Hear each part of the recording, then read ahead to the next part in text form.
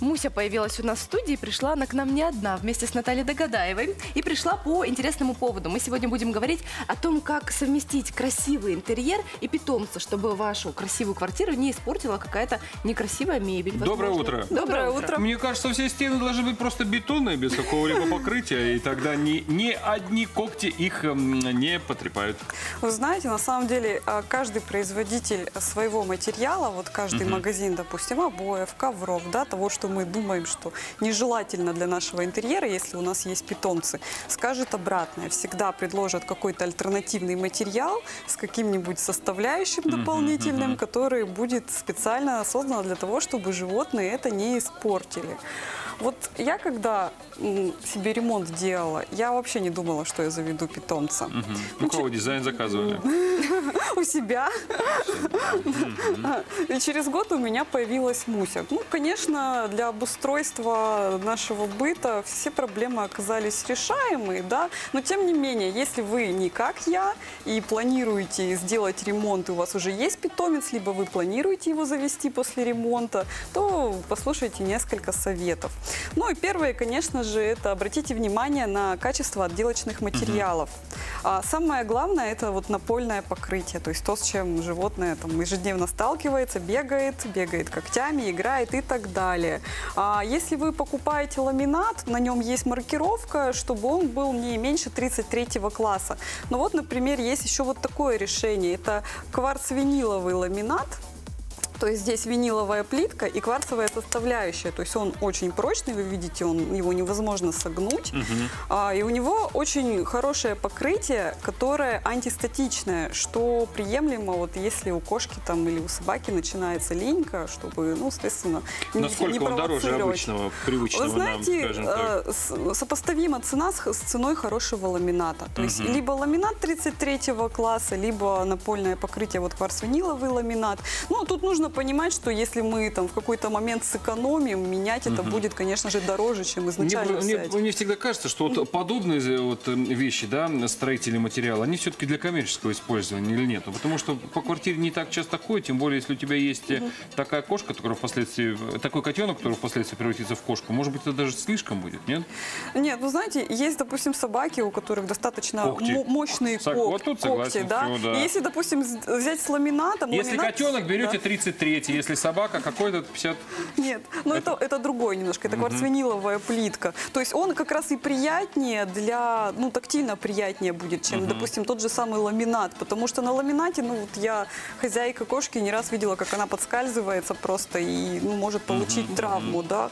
Вот. Этот более такой матовый, более приятный, у него есть сцепление хорошее. Хорошо. А Дальше, дальше. диваны у нас тоже любимое Да, место для да, того, да, чтобы да. кошечки мало того, что полежали, но и поиграли с этим Вот, диваном. э, есть вообще позже? ткани специальной категории, ну, как бы так, неформальное название у них антикоготь, ну, мы можем даже посмотреть, что их, ну, невозможно зацепить. А вообще все вот... Плотные такие, Да, да? велюровые ткани бархатные, то есть не рогожка, где вот мы можем легко ниточку вот так извлечь, а вот такой, такого состава тканей, синтетические, скользкие, для кошек не привлекательные, они, в принципе, не нанесут урон вашей мебели.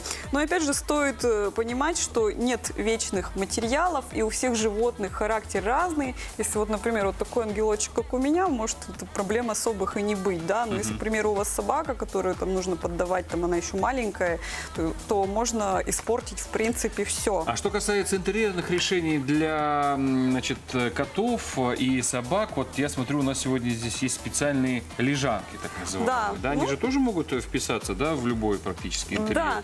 А, для обустройства интерьера, кстати, учеными выдвинуто предположение, и даже как такая аксиома, что животным тоже не чувство, а чувство прекрасного. То есть они оценят то, что вы для них стараетесь и подбираете Ну, что-то конечно, они красивое. походят, понюхают, а потом будут лежать на своем любимом подоконнике и не подходить к тому, э, чего вы им приобрели. А, нужно выбирать, ну, из, то есть локацию для кошки нужно выбирать, допустим, ну, вот я как хозяйка кошки вам советую, то есть э, то место, которое ей нравится, где она лежит, туда, ну, лучше и поставить лежанку.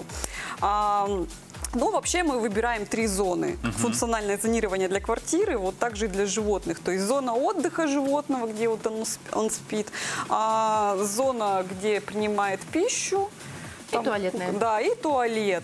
Вот с туалетом, пожалуй, больше всех вопросов, потому что, ну, сам по себе лоток, э, он достаточно неэстетичен, да, вот с наполнителем. Если, допустим, он где-то в коридоре, либо в ванной комнате, там, ну, посторонние запахи, нет-нет, они На все равно балкон надо будут. Да. поставить. Ну, смотрите, сейчас уже производители э, вот этих вещей, э, то есть прогресс не стоит на месте, и, из- ну, и запретены даже настоящие унитазы для кошек которые подключаются к водопроводу, и если, например, вы планируете ремонт, вы просто закладываете сантехнические выводы, то есть подвод воды, слив Ну, то есть воды. сейчас вы можете понять, насколько сенсорные. сильно вы любите своего питомца и можете позволить ему отдельную сантехнику. Отдельный санфаянс. Ну, смотрите, когда так говорят, я обычно э, привожу в пример Карла Лагерфельда. да. Когда он проектировал интерьер известного отеля в Париже, популярного, он предусмотрел в своем королевском сьюте отдельную комнату для кошки. Мгм.